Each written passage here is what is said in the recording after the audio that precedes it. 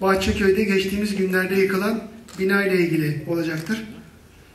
Sarıyer ilçemizin güzide mahallelerinden biri olan Bahçeköy Yeni Mahalle 53 adam 11 sayılı parselde kayıtlı bulunan 9 katlı çavuş apartmanında ikametgah eden ilçe sakinlerimiz 17 Ağustos 2019 tarihinde binalarındaki kolonlarındaki çatlak ve patlamalardan dolayı binayı boşaltmak zorunda kalmışlardır.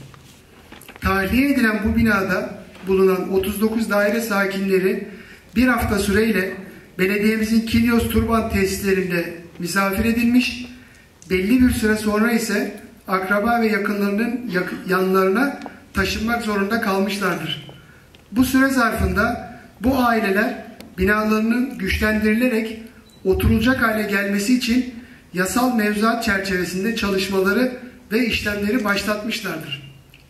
Ancak vatandaşlarımızın riskli olduğundan dolayı tahliye ettikleri Çavuş Apartmanı 27 Haziran 2021 günü gece 00.30 civarlarında olduğu yere çökme şeklinde yıkılmış.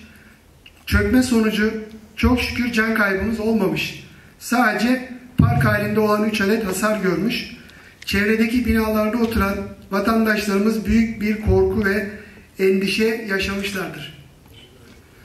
Tüm dünya ile birlikte aynı zamanda ülkemizde de yaşanmakta olan Covid-19 salgını nedeniyle gelir kaybı yaşayan vatandaşlarımızın bir de yaşadıkları evlerinin bu şekilde yıkılması sonucu hem maddi hem manevi olarak büyük bir travma yaşadıkları, psikolojik çöküntüyle birlikte barınma ihtiyaçlarını karşılayamaz hale gelmişlerdir.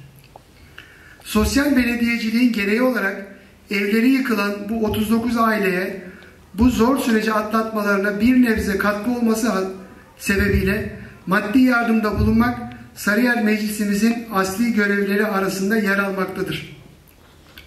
Bu itibarla 5393 sayılı Belediye Kanunu'nun belediyenin görev ve sorumlulukları başlıklı 14. maddesiyle 15. maddesinin A fıkrasındaki belde sakinlerinin mahalli müşterek nitelikteki ihtiyaçlarını karşılamak amacıyla her türlü faaliyet ve girişimde bulunmak maddelerine istinaden binaları yıkılan bu 39 aileye maddi destek yapılması için 9 Temmuz 2021 tarihli önergemizin başkanlık makamına havalesini arz ederiz.